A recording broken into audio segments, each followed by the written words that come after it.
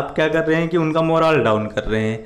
आपका TikTok ban हो गया है तो आप उससे आहत हैं। तो उसका गुस्सा आप देश पे निकालेंगे क्या?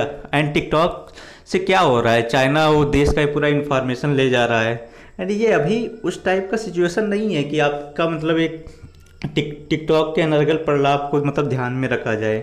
एंड अभी आप लोगों को देश के साथ खड़ा होना चाहिए। लेकिन आप लोग कर क्या रहे हैं? आप लोग फेसबुक पे जाके कहीं और प्लेटफॉर्म पे जाके इंडियन आर्मी पे सवाल उठा रहे हैं, देश के प्रधानमंत्री पर सवाल उठा रहे हैं। आपको कभी कभी ये नहीं समझ में आता है कि आप लोग एक पर्टिकुलर पार्टी का विरोध करते करते, एक आदमी का विरोध करते करते कब देश को विरोध करने की सीमा को लांग जाते हैं, आपको पता ही नहीं चलता।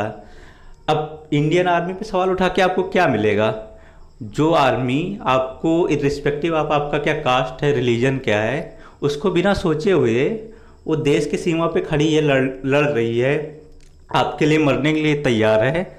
अगर वो हट जाए, फिर देखो अभी चाइना के लोग और जो पाकिस्तान के सब लोग हैं, अभी आके अटैक करेंगे, फिर आपका क्या होगा? तो वो आपकी जान की रक्षा करने के लिए वहाँ पे खड़े हैं। तो आपको, आपका ये फ़र्ज़ बनता है कि आप उनके सपोर्ट में रहें। वो आपका बुरा नहीं चाहेंगे। वो कोई आपके दुश्मन नहीं है, लेकिन फिर भी आप वो कुछ भी करते हैं तो उस पर सवाल उठाते हैं। जो भी होता है, आप उनका मोरल डाउन करने पे लगते हैं।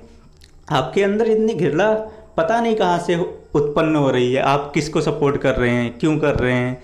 क्या मिलेगा उससे? आखिर में मिलेगा क्या आपका?